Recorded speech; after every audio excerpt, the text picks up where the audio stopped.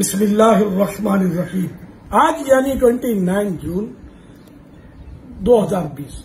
میں نے social media پر ایک بڑا یعنی عبرت ناک مضمون پڑھا۔ ایک آدمی دریا کے کنارے بیٹھا تھا۔ کچھ لوگوں نے پوچھا، کیا کر رہے ہیں؟ وہ بولا، پانی کے ختم ہونے کا انتظار۔ جب سارا پانی ختم ہوگا، تب دریا پار کر لوں گا۔ وہ لوگ ہنسنے لگے کہ کسی بے وقوفی کی بات کر رہے ہیں۔ پانی ختم ہونے کے انتظار میں تو آپ کی زندگی ختم ہو جائے گی۔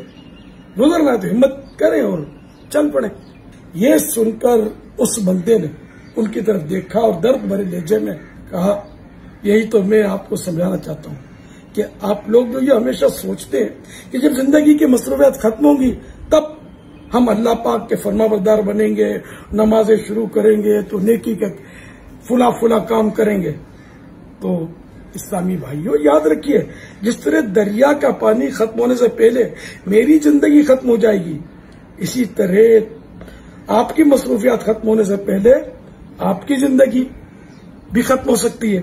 اگر اپنی آخرت کے لیے کچھ کرنا ہے تو پھر ہمت کیجیے اور بس نیکیوں میں لگ جائیے۔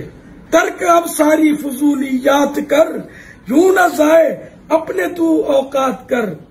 رہنا غافل، یاد حق، دن رات کر، ذکر و فکر و موت کی تو بات کر۔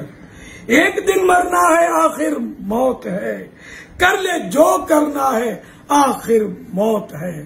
نماز روزے کی پابندی کرتے رہیے، مدنی چینل دیکھتے رہیے۔ صلو علی الحبیب صلی اللہ تعالی علی محمد۔